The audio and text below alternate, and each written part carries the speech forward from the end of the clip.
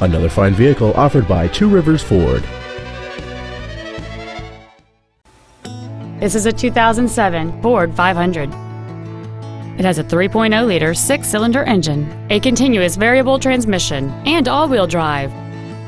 Its top features include power adjustable driver pedals, memory settings for the driver's seat's positions, so you can recall your favorite position with the push of one button, a navigation system, a CD player, leather seats, four-wheel independent suspension, alloy wheels, a traction control system, a power sunroof, and this vehicle has fewer than 27,000 miles on the odometer.